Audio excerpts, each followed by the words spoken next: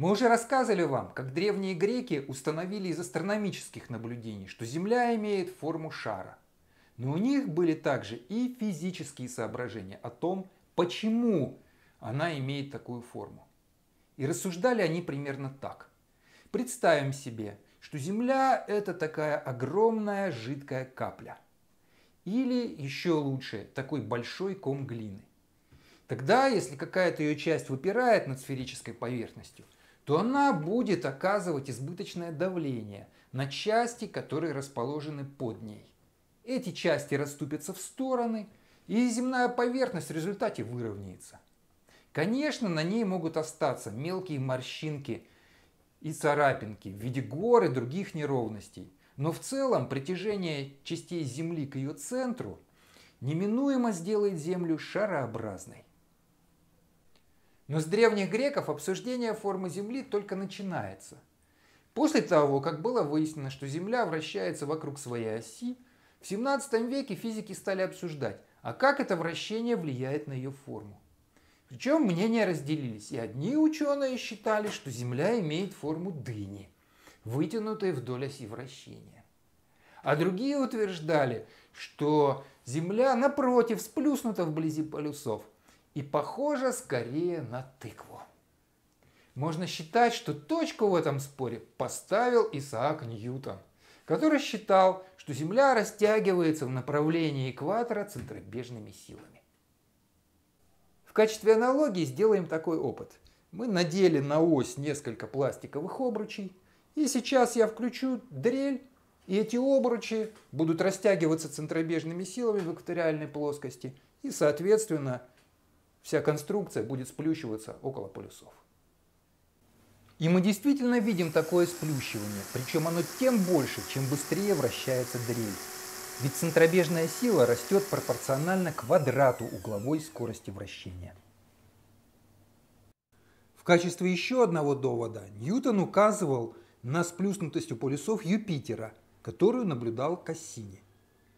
Проведем на фотографии Юпитера окружность, проходящую через полюса, а потом растянем ее так, чтобы полученный эллипс совпал с фигурой Юпитера.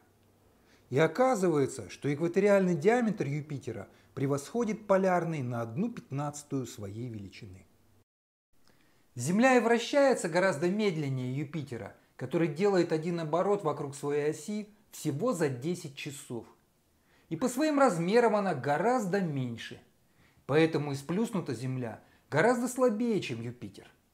И сейчас мы вслед за Ньютоном сделаем оценку этой сплюснутости. Нарисуем сплюснутую Землю. Ее полярный радиус обозначим через r, а экваториальный радиус через r плюс h, где h – это малая поправка. По порядку величины эта малая поправка h будет так относиться к радиусу Земли, как центростремительное ускорение омега квадрат r – к ускорению свободного падения G на поверхности Земли. А эти две величины относятся как один к 300. Эта грубая оценка на удивление близка к измеренной сплюснутости Земли, которая составляет 1 к 290. Но Ньютон, в отличие от нас, произвел точные расчеты для однородной Земли. Для этого он представил, что к центру Земли прорыты два колодца. Один с полюса, а другой с экватора и они заполнены водой. Вода в этих колодцах должна находиться в равновесии, а значит создавать одинаковое давление в центре Земли. А как Ньютон произвел дальнейшие расчеты, вы можете сами посмотреть, открыв его великую книгу «Математические начала натуральной философии». И эту книгу должен посмотреть каждый, кто интересуется физикой. Не для того, чтобы прочитать ее целиком, а для того, чтобы понять, насколько далеко Ньютон продвинулся всего через 50 лет после Галилео Галилея, с которого и начинается история физики нового времени. Расчеты Ньютона требовали опытной проверки. Но как ее сделать? Ведь расстояние до центра Земли напрямую не измеришь. Идея состояла в том, что если Земля сплюснута у полюсов, Здесь кривизна ее поверхности меньше, а поэтому длина одного градуса меридиана больше. Измерив эту длину в разных широтах, можно будет судить и о форме Земли. Такие измерения были предприняты в начале XVIII века во Франции все тем же Джованни Кассини, который наблюдал сплюснутость Юпитера. Вот только с Землей у него вышла промашка. В результате измерительных ошибок у него получилось, что Земля не сплюснута у полюсов, а вытянута. Кассини верил в свои астрономические способности и стал придумывать альтернативную теорию, отличную от ньютоновской. В науке так тоже бывает. Последующие экспедиции все-таки установили, что Земля сплюснута около полюсов. Но все более точные измерения показали, что степень этой сплюснутости различна вдоль разных меридианов.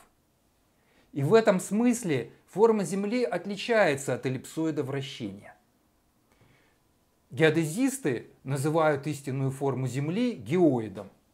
Но надо при этом понимать, что это вовсе не форма реальной Земли со всеми ее выступами и впадинами, а это та поверхность, тот уровень моря, на котором вода установилась бы, если бы мы все материки прорезали сетью каналов и посмотрели бы на поверхность воды в них.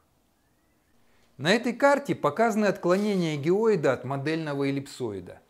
Самое глубокое понижение находится в северной части Индийского океана, основные повышения расположены в Северной Атлантике и в районе Новой Гвинеи.